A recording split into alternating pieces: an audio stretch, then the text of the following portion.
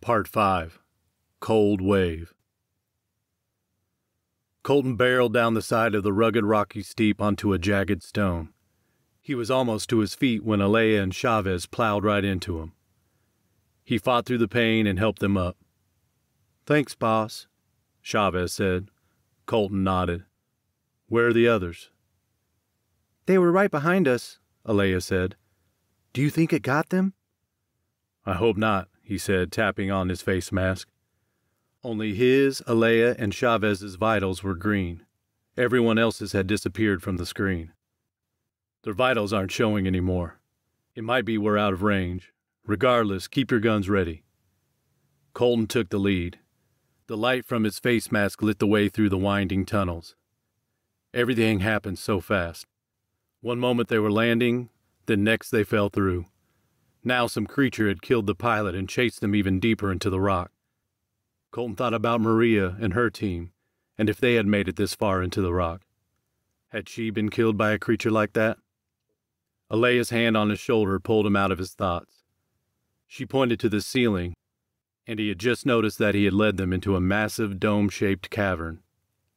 The temperature was much lower than where they started, as the cold air chilled their breaths, and layers of frost covered the walls.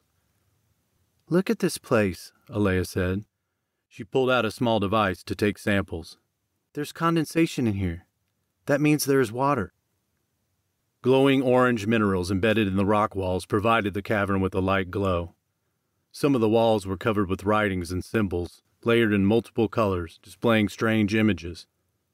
Colton noticed something bizarre about the images. Come look at this, he said.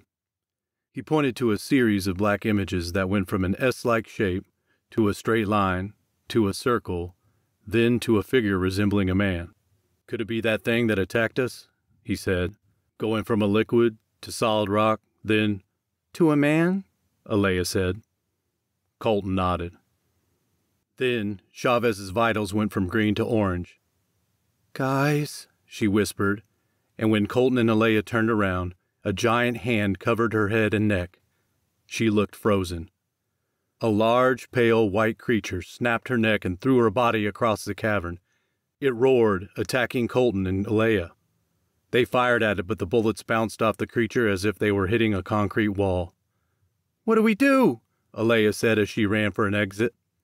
The creature caught up to her, sending her crashing into the wall with a hard slap. The beast turned to Colton, who still fired shots at it. The creature rushed him. Colton ducked, rolling under the creature's massive legs to get behind it. He made it to Chavez's body and grabbed her shotgun. The beast grabbed Colton by the leg and flung him across the room.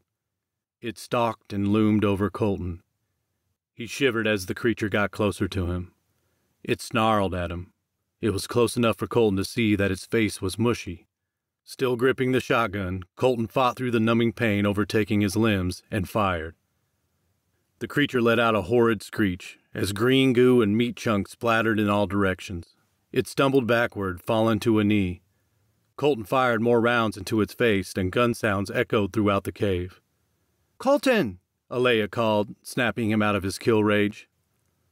Are you okay? he said, reaching out a hand to help her stand. I think so, she said. Whatever that thing is, it killed Chavez. We need to get out of here before we run into more of these things.